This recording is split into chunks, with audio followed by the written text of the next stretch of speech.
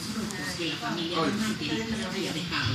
Cuando los mira, dos la llegaron a casa, más tarde esa noche, Gwen estaba tan excitada que ató a Catherine a la cama y habían tenido sexo.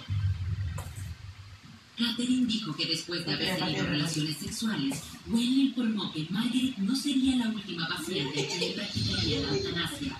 La próxima vez, ella y Catherine morirían juntas como prueba de su amor.